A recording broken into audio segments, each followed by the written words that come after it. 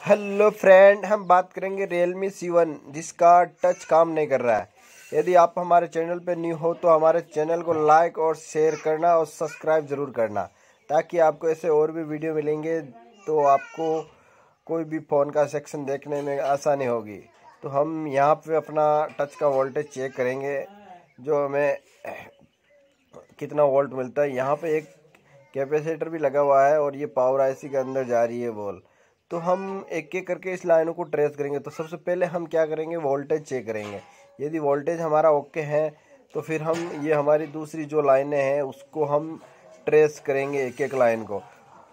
ये चार लाइन होंगी जिस पे कहीं ना कहीं कंपोनेंट से टच है और बाकी की लाइनें डायरेक्ट सीपीयू के अंदर है। तो हम ये वाली लाइन यहाँ से देखेंगे तो ये कैपेसिटर कैपेसिटर से जुड़ी हुई है और दूसरी भी लाइन ये एक रजिस्टर से जुड़ी हुई है।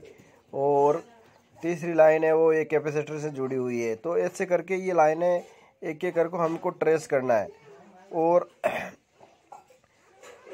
हमको एक एक लाइनों को ट्रेस करने के बाद यदि हमारा सेक्शन काम नहीं कर रहा है, यदि हमारा टच ओके है तो हमें पावर राशि को चेंज करना पड़ सकता है। यदि वोल्टेज नहीं आ रहा है तो।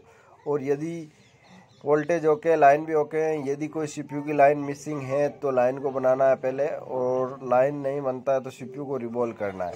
यदि आप हमारे चैनल पे और भी कोई सेक्शन का वीडियो चाहिए तो हमें कमेंट ज़रूर करें। हम उसी सेक्शन का वीडियो बना के आपको दे देंगे तो मोबाइल बनाने में आसानी होगी।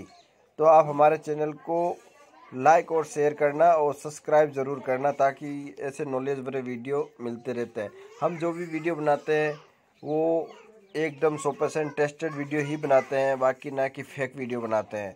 बाकी कई चैनल पे आपको फेक वीडियो देखने को मिलेंगे, लेकिन हमारे चैनल पे ओरिजिनल वीडियो ही मिलते हैं। Thank you friend